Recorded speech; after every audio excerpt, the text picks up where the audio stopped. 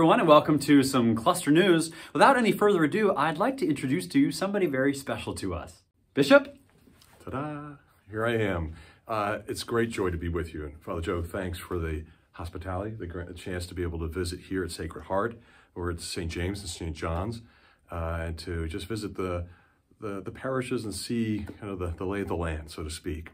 I'm here for confirmation this evening, and uh, look forward to that celebration as we confirm the young people of this parish. And I know that there are teenagers, young people uh, from every parish who participated in a rosary garden, uh, kind of fixing that up right next to the cemetery here near Sacred Heart, uh, but have participated in other youth activities, retreats, and other occasions and opportunities for spiritual development.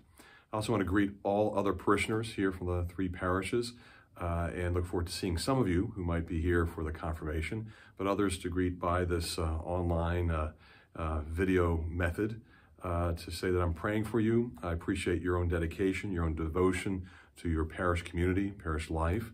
I can see and, and read about your histories and uh, the richness and beauty of those histories. And Father Joe has really invited me to reflect with him about a lot of the activity of the parish in many ways that you each participate in the life of each parish community and contribute, contribute so much in terms of devotion, prayer, uh, your own time, talent, and treasure. And I'm very grateful to each one of you and uh, look forward to other occasions when I might be able to celebrate in a larger way with the whole community uh, on a Sunday or some other special event.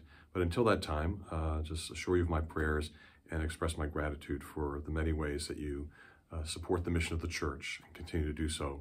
And of course, gratitude to Father Joe for his pastoral care of all the people here and uh, just the beautiful way which he has uh, connected everyone and uh, helped inspire a bit more of a, the faith and uh, a love for the church. And uh, with that in mind, okay, again, assure your prayers and uh, look forward to other occasions to be with you.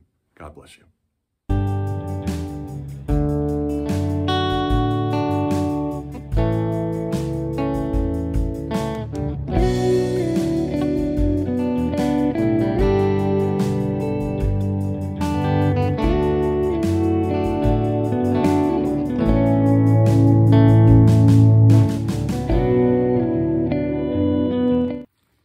Thank you so much to Bishop for being with us. If you can't join us for the confirmation mass, be sure to check it out afterwards. It's going to be saved on our live stream channel and stick around to see some of the pictures of things going on here in the parishes. God bless you.